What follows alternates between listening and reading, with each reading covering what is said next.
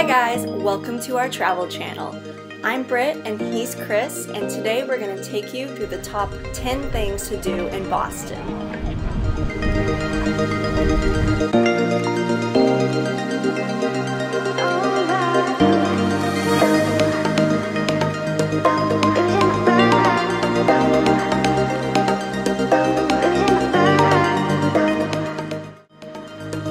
Number 10, ride the subways.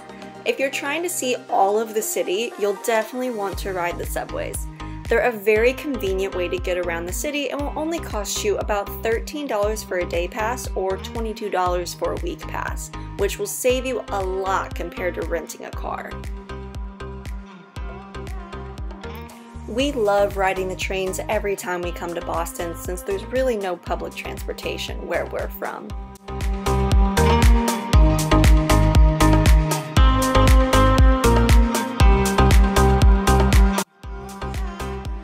Number 9, Acorn Street and Beacon Hill. This is a famous street that is known for its cobblestone road and its aesthetics houses located by Beacon Hill. Stopping by here will make you feel like you step back in time. Make sure to walk around the neighboring streets since there are other many beautiful houses to see. It's also right beside the Commons which makes it very easy to get to.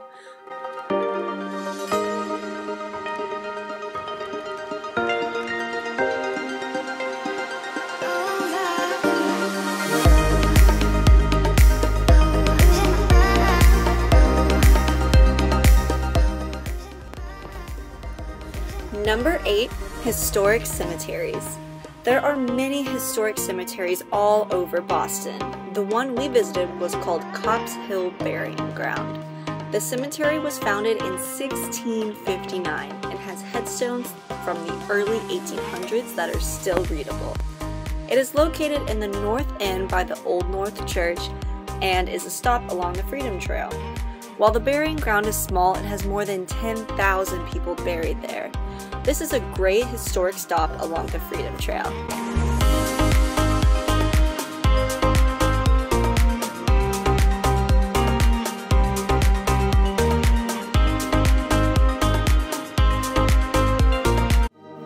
Number 7. Harvard. Founded in 1636, Harvard is a world-renowned university with beautiful historic buildings that you can explore. This is only a short subway ride away from downtown Boston if you take the Red Line. Walking around the grounds of the Ivy League school is something that should take about at least half a day to do. There are tons of beautiful buildings to see and so many restaurants to eat at in Cambridge. Make sure to grab a Harvard shirt from one of the many gift shops and bookstores while there.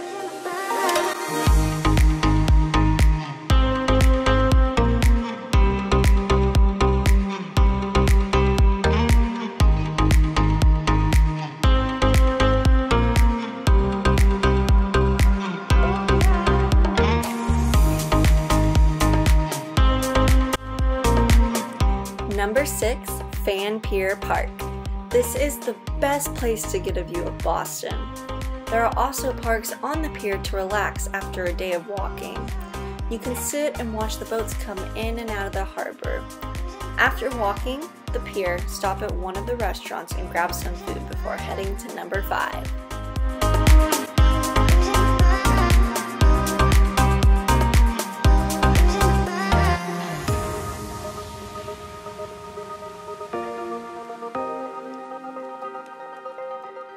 Number 5. The Rose Kennedy Greenway. This is a strip of parks built on top of the highway in 2008. The park has multiple blocks with interesting things to see at each one.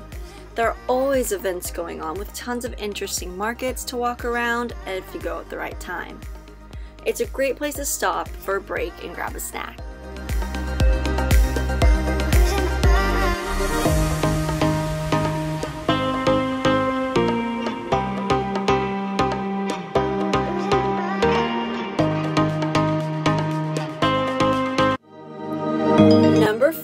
The Public Gardens. This garden was the first botanical garden in the US.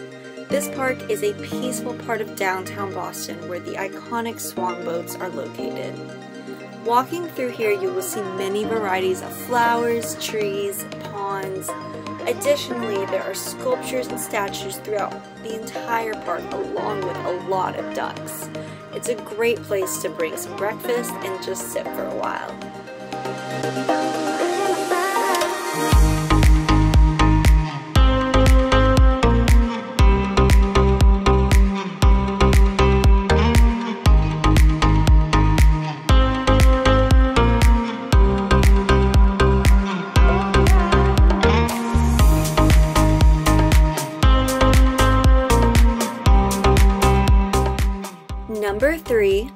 Commons. The Commons is right next to the public garden and is like the garden, but has a lot of open space and a hill which offers a great view of Boston. There are some food stands here and tons of open space to grab a blanket and have a picnic. The park also has quite a lot of historic value as it's considered the oldest public park in the US. This park is also a free activity and a great stop, so make sure to add it to your list.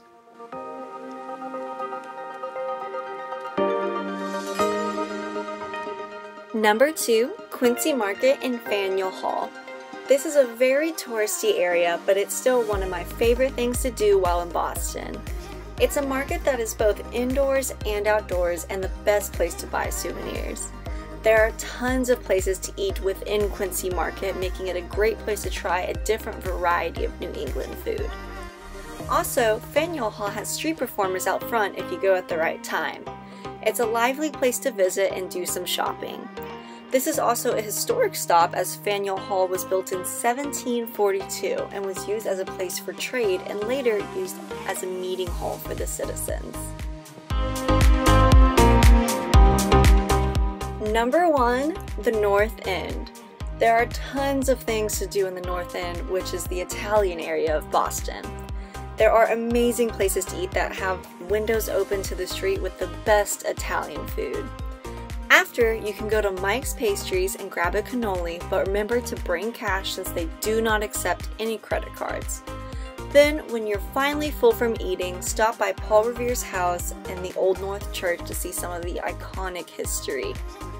Take some time to walk around this area and use the Freedom Trail in this area too to find some more interesting stops in the North End.